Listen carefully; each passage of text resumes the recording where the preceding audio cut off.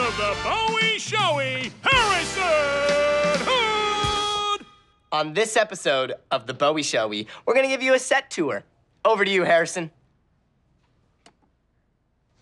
Thanks, Harrison.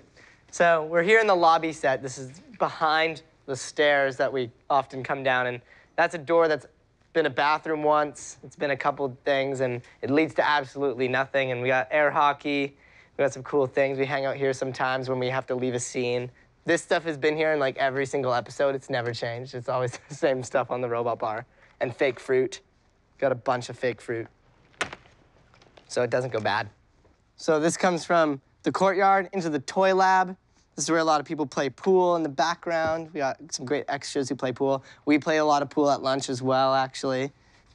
So on the rooftop, we have Bubkiss's shed, and this is technically the window to Jarvis's office, but we don't normally shoot that way. We have like this big wall. If you come in here, you can see it. So they set this wall up when they shoot through the door like that. So also on the rooftop, we got fake grass. There's a fake grass couch here, and then these are always on set. They're fake ice cubes. They're just like rubber. And I guess these drinks are probably like two years old now, which is awesome.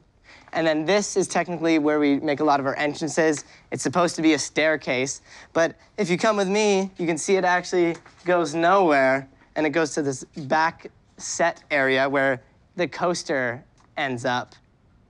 And there's some coaster track, and there's like behind the, the set.